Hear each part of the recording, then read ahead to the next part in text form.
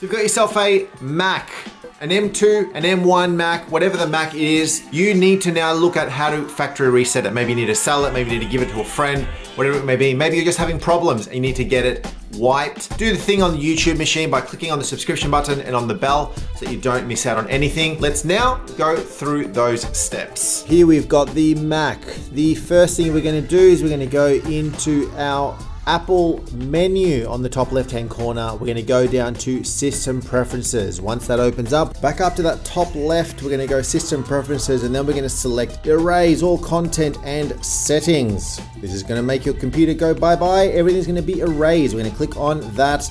We're going to verify with our password for our Mac and we're going to confirm that we're going to erase all content and settings. Continue.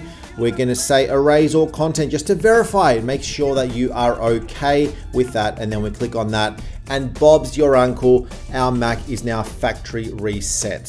So they were the steps. Thanks for checking this video out. We'll see you next time.